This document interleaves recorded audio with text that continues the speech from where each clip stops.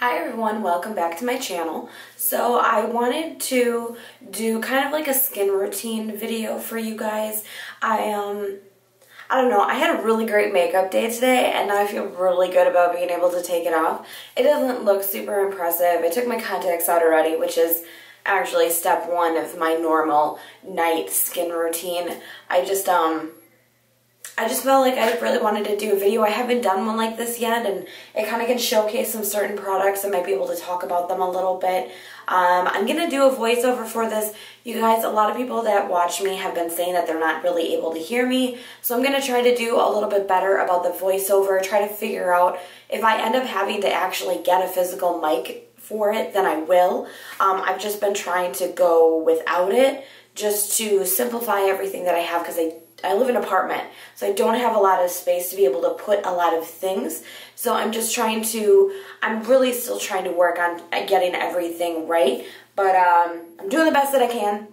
Hopefully it's not too echoey right now because I am in the bathroom. I figure it'd be a lot easier to film it than do some like weird thing at a desk or something, you know. Um, so without any further ramblings on about things that I'm talking about today, let's go ahead and wash my face take all this makeup off and then you can see what I look like all the time or what I look like before I apply makeup. Same thing. Okay, let's get to it. So the first thing that we're going to do is go ahead and take our glasses off because uh, washing your face with glasses on is weird. Then I'm going to go ahead and tie my hair back. I don't have a lot of it, but the stuff that I do have on my head, I want it out of my face. My makeup removing cloth is from Norwex. You can use any other kind that you would like as well. Um, everyone has one, or just use washcloth is fine as well. So what I'm going to start off with is this little, um, I have a little sample of the Ole Henriksen, the 3-in-1 Melting Cleanser. This is a oil-based sort of jelly. It is amazing for being able to break down any sort of long-wearing, water-resistant type of um, makeup. The best way to apply this is with dry hands and with a dry face. You just kind of rub it between your fingers and go ahead and rub it on your face. As you can see, it is definitely safe to be able to put on your eyes. In fact, this is the only cleanser that I have ever used in which I would have been able to put it on my eyes to get my mascara off and it didn't burn me. So I absolutely love it. Three three thumbs up in my book, honestly. Proceed to go ahead and once you've kind of worked that all through, you're able to wipe that off using a damp cloth, such as I have here. Um, I do like any other ones. I think there's Sephora has a makeup eraser one, which is a little fluffier. I just gravitate towards this one because I've had it longer and I, I just, it's a little bit smaller, so I like working with it. Plus, then I can show you really, you know, gross leftover makeup like, uh, you know, what I'm going to show you here because it's so attractive. Mm-mm. So for my double cleansing, so my second cleansing step, I'm going to use the Purlisse. This is a cleanser I got in like a Birchbox or Ipsy, something like that. Um, I actually put it on the cloth this time, and then I work it on my face. I always double cleanse because I wear a, I wear a lot of makeup, and I just want to ensure that I'm getting everything off of there. But the three-in-one cleanser really would be good enough. I just this is just what I do.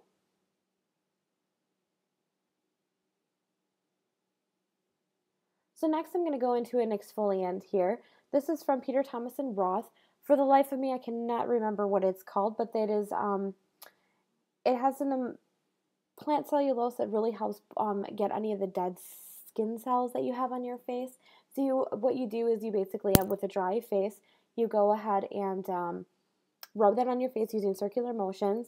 And with that plant cellulose, it actually goes ahead and grabs onto the hairs, not hairs, the the skin cells that you have in your face, so you're able to get them off of there. Um, so you just work that through.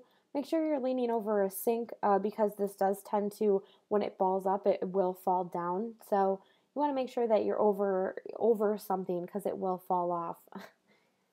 it looks grosser than it actually is. It's a lot of it's the plant fibers more than your skin. So then once you're done, you can go ahead and get rub that off again with a nice damp cloth such as this one here.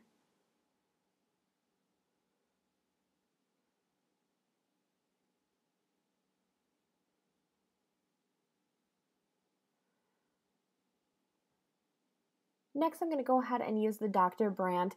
This is the Pore Vacuum. Um, it's, it's basically a little mask that you put on um, the areas that you have problems with your pores, any dirt in there, and it helps get that out of there.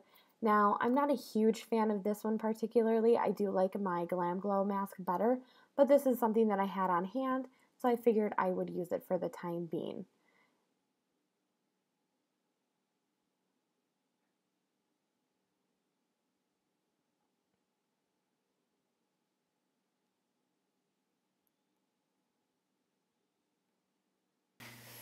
So now that it's been five minutes, as you can see, it gives this ghostly white appearance. You're just going to go ahead and rinse that off as well. You don't need to you don't need to proceed with another cleanser off of this. Just make sure that you rinse it off really, really good, and then you're you're good to go.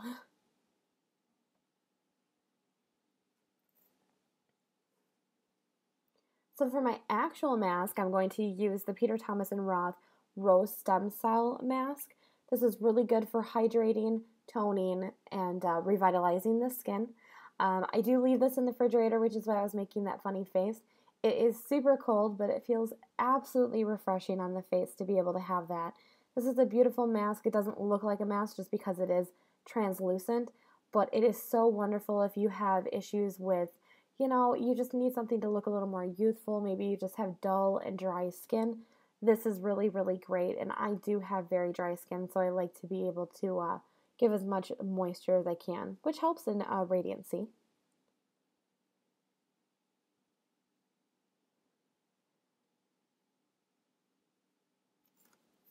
Alright, so 10 minutes later, and uh, as you can see, I have some weird crap on my lips. Um, I did go ahead and put a mask that I got, a lip mask that I got from Mary Kay.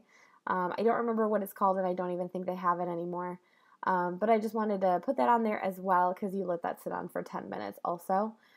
Now I'm just proceeding to go ahead and rinse that off of there. Um, this, if you apply it very thinly, you can leave it on overnight. I just preferred not to because I was showing my entire night routine, um, but I have done it before and it does feel beautiful the next day. So next I'm going to go in with Sorry for the non-label showing. Um, it is a Perricone, the Blue Plasma cleansing treatment. So this can be doubled as, honestly, you can use it as a cleanser or a toner. Um, I use it as a toner. Perricone is absolutely wonderful. It is great for um, anti-aging properties. Um, I think it's wonderful. If you haven't heard about Perricone, you definitely should look into it, especially if you feel like you're getting fine lines and wrinkles. This is definitely the product line for you. Pretty penny, but totally worth it. I just put this on the cleansing pad, of course, and just uh, wipe that all over my face.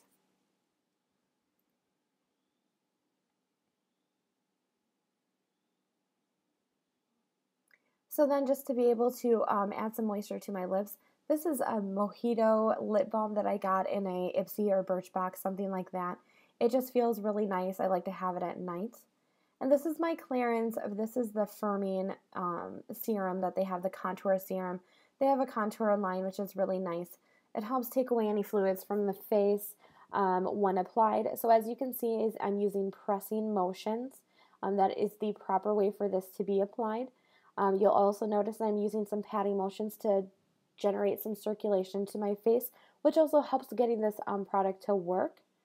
And you'll also notice that once I'm done with these pressing motions here, on uh, the slight patting motions, you'll also use pressing motions by placing your hands or your head in your hands and letting the weight of your hands or your face be able to work that product in and what it's doing is, is when that product is sinking in, it's help, helping take the fluids away from the face. So you do that for a couple of minutes. And then you can go on with your night wrinkle eye cream, wrinkle cream. This is my um, Clinique one I've had for a while. I have a couple of um, I'm not a huge fan of eye creams, but I am working on other ways to apply it.